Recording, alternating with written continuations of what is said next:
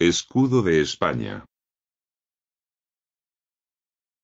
La corona representa la condición de reino que tiene España y es propia de la Casa de Borbón-Anjou.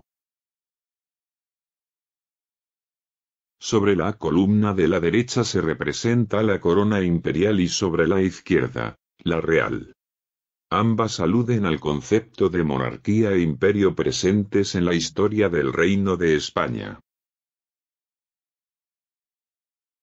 Las columnas de Hércules de la mitología griega situadas en el estrecho de Gibraltar aparecen sobre las olas del mar y son un símbolo de que España fue capaz de ir más allá del océano. El lema, plus ultra, que significa, más allá, muestra la voluntad de expansión del país.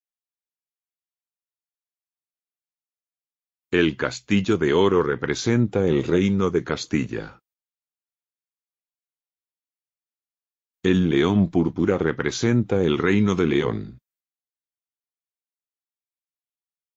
Las cuatro barras sobre el fondo amarillo forman el escudo de armas del Reino de Aragón.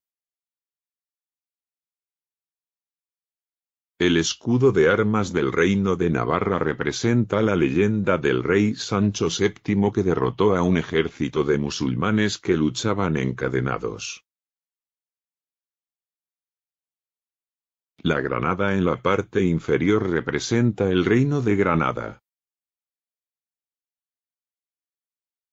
Las tres flores de lis sobre el fondo azul identifican a la familia Borbón-Anjou y simbolizan la hermandad de sus caballeros.